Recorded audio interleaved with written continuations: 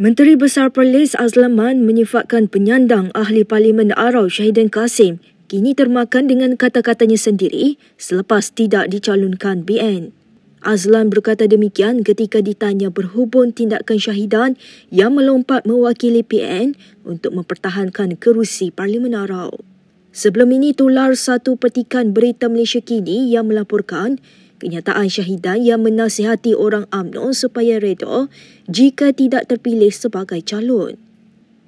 Kenyataan itu dilaporkan berlaku sebelum PRU ke-14 lalu sekaligus memperlihatkan kenyataan Menteri Wilayah Persekutuan itu bertentangan dengan nasihatnya sebelum ini. Syahidan juga dilaporkan nekat memastikan Azlan gagal untuk mempertahankan kerusi Don Bintong pada PRU 15. Bercakap di Kangar hari ini, Azlam berkata, Syahidan kini terbukti seorang yang mementingkan diri sendiri dan bukan mengutamakan parti yang telah menyokongnya sepanjang menjadi wakil rakyat selama 8 penggal. Katanya lagi Syahidan boleh berkata apa sahaja dan ia sesuatu yang normal bagi seseorang calon yang mahu mengalahkan calon parti lawan.